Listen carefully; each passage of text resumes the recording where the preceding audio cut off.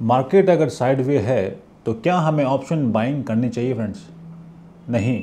हमें option buying नहीं करनी चाहिए। अगर आप ऑप्शन बाई करेंगे तो आप पैसा नहीं बना पाएँगे।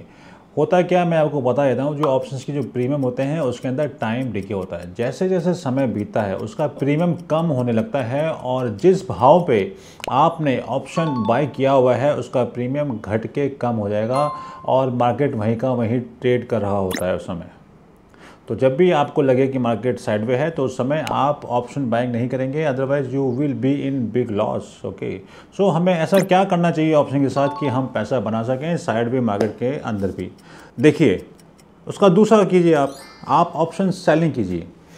जिस स्पॉट पे मार्केट ट्रेड कर रहा है, उसका एटीएम स्ट्राइक आप लीजिए, उसका कॉल और उसका पुट दोनों स्ट्राइक को आप बेचिए और बस बैठ जाइए।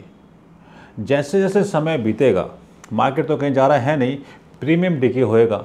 डिके होने के साथ साथ जो डिके होएगा, वो आपका प्रॉफिट बनेगा फ्रेंड्स।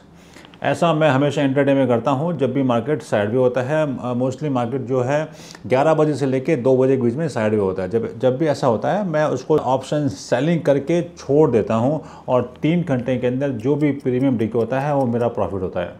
तो आप भी ये कीजिए जब मार्केट साइड भी होता है, आप भी अच्छा पैसा बनाएँगे फ्रेंड्स थैंक यू फ्रेंड्स